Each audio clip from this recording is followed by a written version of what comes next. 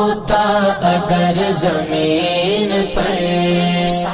अस्सलाम वालेकुम रहमतुल्लाहि एक बड़ा खूबसूरत कलाम मेरा अपना बहुत जल्द रिलीज़ होने वाला है बहारी मदीना के यूट्यूब चैनल पर।